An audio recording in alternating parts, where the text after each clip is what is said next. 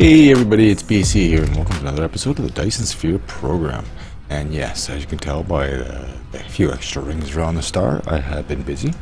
I went back to LYSA 2 and I got, uh, I went from the two railguns up to the six. Well, I have six different orbits going right now, and it is actually quite something because these are actual physical objects in the world. Well, you can't actually collide with them, but not only can you see them on the map, but you can see them in the real world, and, and if we actually go up there, and actually fly up in amongst the rings. I thought that was actually cool. So yeah, this is uh, something else. I have done some research. Let me uh, get going again. I have unlocked the, the ray receiver and I have actually built a few. Now it was uh, there was a little thing that came about uh, about how I'm creating Dyson swarms right now. Not really a Dyson sphere. Uh, the to get to the sphere, I got to get to the vertical launch launching silo, which starts bringing up uh, these materials, as far as I know, up there to automatically build the Dyson sphere. So more or less to, I think to join all the panels together, I guess, I guess all the solar cells. Now regarding the solar cells, there is actually some uh, technology we can uh, do for it uh, right here, uh, solar cell life. So the first one adds 5 minutes, next one adds 5 minutes, next one adds 10 minutes, and then 10 minutes, and then 15, and so on and so on. Uh, it know, it did actually come up and say that uh, they will degrade over time any more or less. You have to keep pumping sails up into the up into the the swarm to keep it alive. So that is that. Uh, there is actually stats here. I can see I'm generating 90, 90 megawatts right now, which is actually not bad. And I currently have 2,500 solar in, up. Now they're get, getting to the point where they're going to be starting to die off pretty soon. You can, I think this is the amount of amount that are currently launched at a given time or something. But needless to say, that's what's going to happen. So, of course, the more sails I get up, the more power I generate. The longer they live, the more power I generate. Anyway, uh, you okay? I twitching out there. Anyway, uh, I actually have one of these ray receivers, so let's go check it out. Let's head over here. Now, as far as I know, this is actually just going to be able to pull energy right from that 90 megawatts that I'm generating. At least that's what I'm assuming. Now, I do have six of them already made. Right here and not as big as I thought it would be. Well, let's put that here here and see what it does. You built a ray receiver which can receive the high energy rays transmitted from the Dyson sphere and directly input them to the power grid. However caused by the ray receiving efficiency the ray receiver's requested power will be larger than the documented output power of the Dyson sphere you can keep it working or upgrade technologies to increase the ray receiving efficiency. Huh, interesting.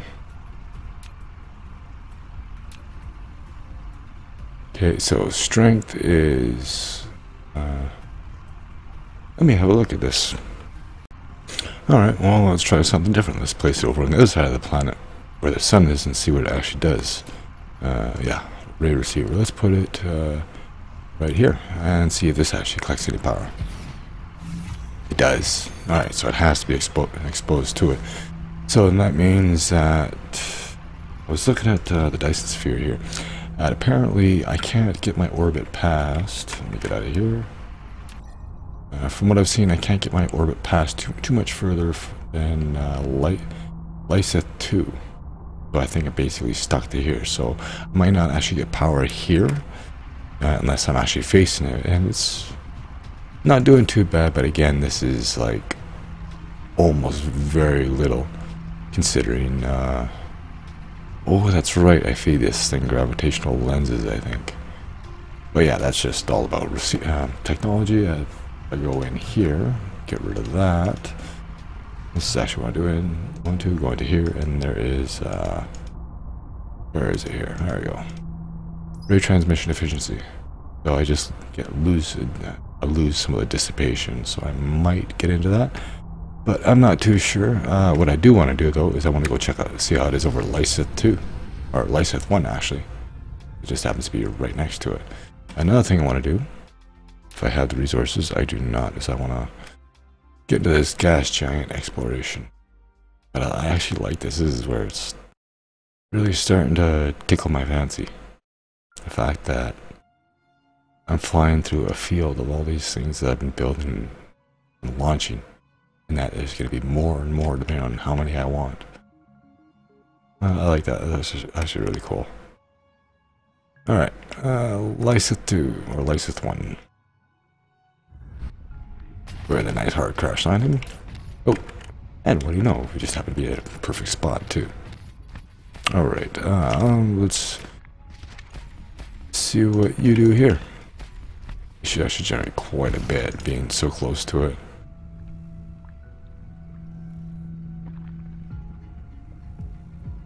Alright, how much are you actually generating? 1.3. Huh, interesting. Well, obviously you'll have to have a bunch of these around the planet, at least six of them, one on, uh, one on each pole, and then four of them going around. But uh, that is interesting. All right, so now to head back, and uh, a couple of things I want to do in this episode. Hopefully, we'll try to keep this one short. Uh, if I can find home, is I want to get the information matrix going. Where is? Oh, there we go. Being fired at by my own planet. Uh, information matrix and gas planet exploration. There's apparently resources here. I'm curious at what the, what the resources are. And so on. So I'll bring you back when we're ready to go. Okay, I am back and I am currently crafting a whole bunch of stuff, getting ready for um, the orbital uh, orbital collector. So that's going doing its thing. I do have uh, some research labs made. Let's go ahead and start getting this research going. Now, I'm thinking about hiding these ones here in the back corner here somewhere, just because I can. All right. Um, do I really need two of them? Sure, why not? All right, let's go to science or research, and I guess we'll do I guess it doesn't really matter where I put them. Go three high there. And one, two, three high there. Alright. You're going to be making information matrix. Alright, so I need to bring processors and um, boards over on particle broadband. Alright, so let me get this uh, mess wired in together and I'll be right back. Okay, hmm, there we go processes are on the way. I got them going all the way back here, splitting up into these two here. And I have particle broadbands coming all the way down over here in between the wind farm and piling up into these conveyors. And all I have to do is set these to information. And they're going to do their thing. And they're going to funnel into here, and they're not going to do anything at all until I actually start re researching so it needs them. And there we go. 27 hours of gameplay to make the information matrix. And I like that it actually shows you your gameplay time and the actual real world time. Okay. So there we go. Now as far as uh, research, uh, what did all got done? I can't remember.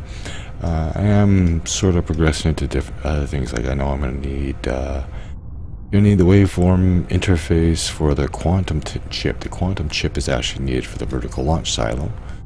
Uh, it is needed there, and it's also needed for the the carrier rockets. So that's something I'm, I'm working towards. I'm also getting to the strange matter too. Was I getting to the strange matter? Uh, not yet. Oh yeah, I will actually need that. So we're gonna have to get into that next too. Uh, suppose let's check uh, mech upgrades. See what we got going on here. I'm not too worried about solar cell life right now research speed, I can actually do that, but uh, of course you gotta research, do research. Anyway, uh, let's see. Uh, finish up on that drive engine.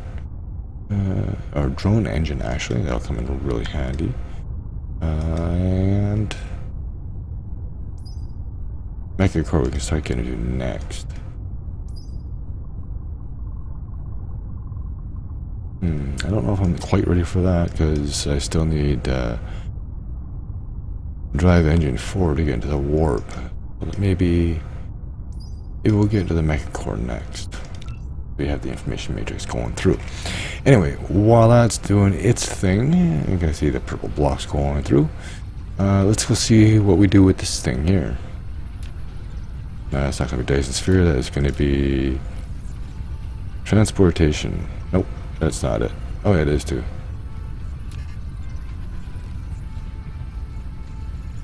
Not enough items. Oh, yeah. I crafted everything else but that. I'm missing the accumulators. Oh, okay, so I do actually need to place this thing down. I thought I made one. I don't think I did. Anyway, so yeah, I gotta be... I think I actually have to charge these things with this thing off the power grid. So, uh, high strength type glass, ready to go. So let me get this done and uh, I'll be back. Oh yeah, that was fairly quick. I had more or less everything I needed. Now, I don't know how big this thing is or where it's going to go, but I have a feeling that this can go just about anywhere. Oh, it's taking a little while. And look at that. It's sunrise of a thousand suns. Well, technically, 3,200 suns. I love how the ring grows, too. That's quite something. Okay, uh, what are we doing here? We are doing this, which is almost done in 10, roughly. Come on, let's go.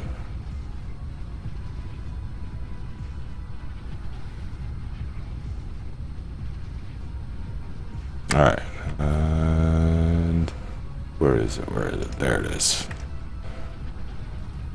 Uh, it's uh, okay size. Uh, where should I put it? Hmm. It's not cluttered enough over here. Let's put it right here.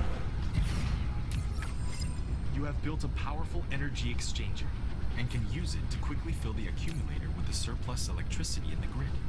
You can also release the electric energy stored in the full accumulator with the same speed. With a stable logistics guarantee, it can continuously supply the grid with power. Okay, so you're saying container in, container out kind of deal. At least that's, that's, at least that's what I think you're talking about. Craft another one of these, just cause. Oh.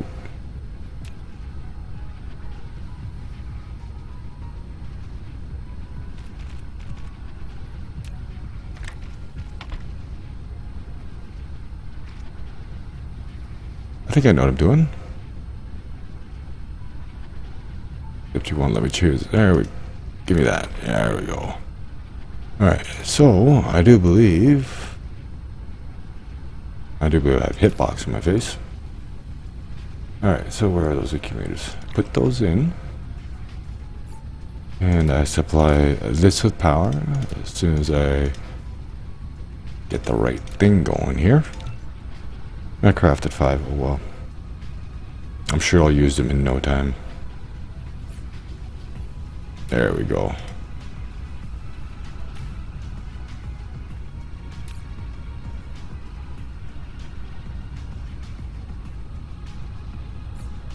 Oh, ha ha ha ha.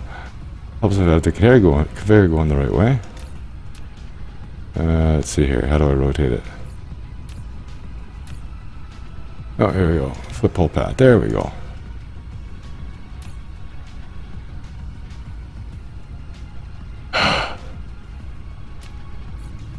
it did something.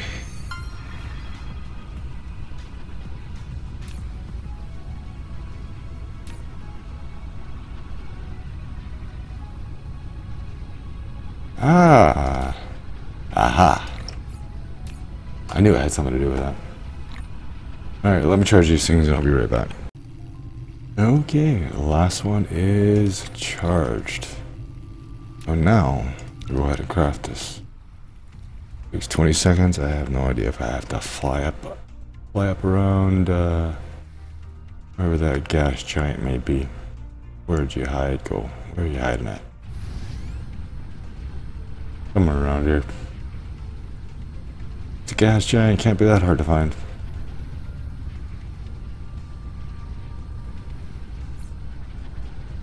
Anyway, uh, there it is. Alright, uh...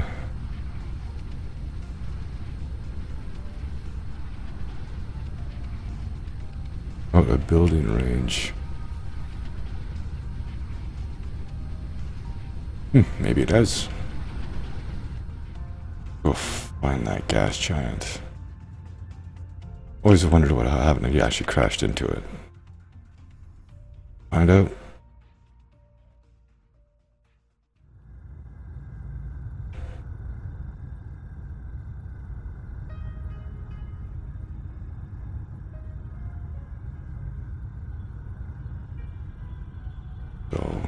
Okay. So that's what I thought. I'm actually floating. I'm not not in flight mode. I'm just sort of hovering. Okay. Interesting. Alright, so where is that going to be? Transportation. At the equator. Okay.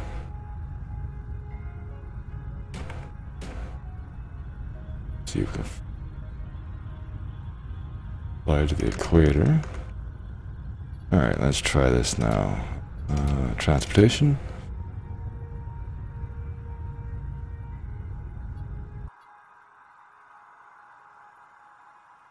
Oh, I'm still a little ways to go to the equator, I think. Alright, I'll bring you back when I actually find it. Okay, I found it.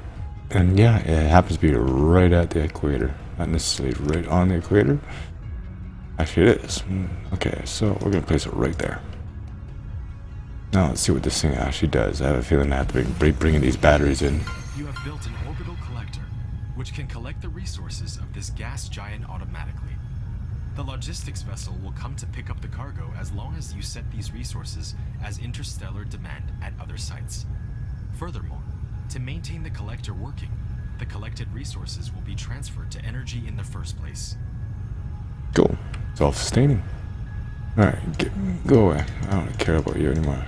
Alright. Come on, go away. There we go. Alright, so yeah, this is the other one I saw. That was... Alright, so it's just straight up hydrogen and interstellar gas. And it generates its own fuel. Okay. Uh, this interstellar gas I needed for something. What was it? It was... There was something it was being made into. It was an alternate recipe. I can't remember what it was. There it was, graphene. That makes it so much easier then. And it gets the hydrogen out of it. And how much does it seem to produce? An average amount. Not bad. Gotta like the model though. You have vacuum. Oh, go away.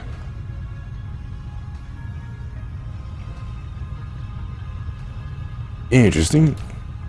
I don't have to supply it with any bots, I think. It just comes and picks everything up. Alrighty, well, let me uh, head back to main planet here, and we'll see what we're up to next. Okay, so I'm looking at where I think we're going to go next. I'm sort of looking through here. I know uh, uh, once we start getting into like this stuff here, I'm gonna have to start researching this. Now look at this, and this is gonna be more titanium, lots and lots of titanium. Like these are uh, those carbon nanotubes, which are titanium and the graphene, and then they got titanium alloy. And these things here, I don't know how many I'm gonna need, but I'm gonna need a bunch of these. And I'm also gonna need more solar panels. So yeah, there's gonna be a lot of grind. Uh, I guess probably queue that up next. Uh, now what did I, what did I need for this? Oh yeah, the quantum chip, so... Um, yeah, maybe we won't queue that. We gotta get this quantum chip under, underway here. And... That's gonna be next, actually. That's gonna be here. Uh, the quantum chip is gonna be interesting because I have to get to the, the, the Casimir crystal. And the Casimir crystal is one of those crystals that I'm making with titanium and organic, the, the organic thing, graphene, and more hydrogen. Uh, well, at least we're getting hydrogen. Uh, the graphene, actually, uh, think about it. Graphene, I'm actually ma making. Oh, look at that, getting graphene and hydrogen. That actually might be fairly simple then. graphene and hydrogen, just a matter of making these crystals, which I'm already producing. I got a second line produced already, or set up already to produce them.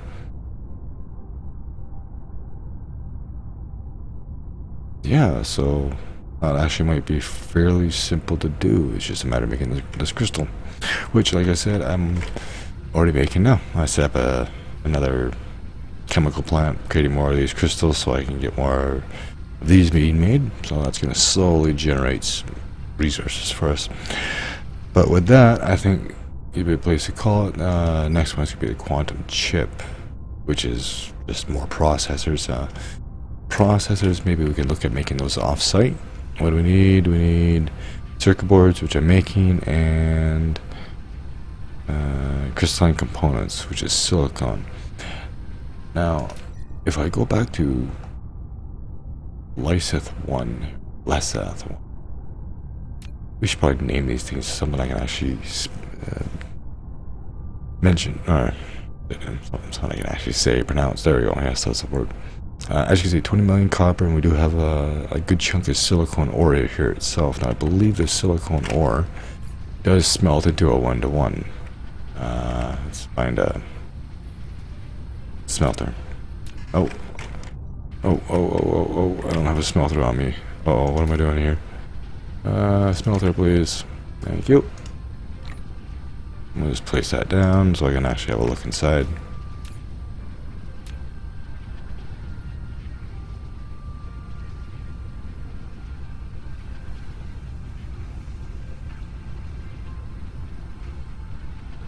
Oh, oh, okay. Never mind. So it gives me that, which goes right to the silicon ingots. Alright, that's fine.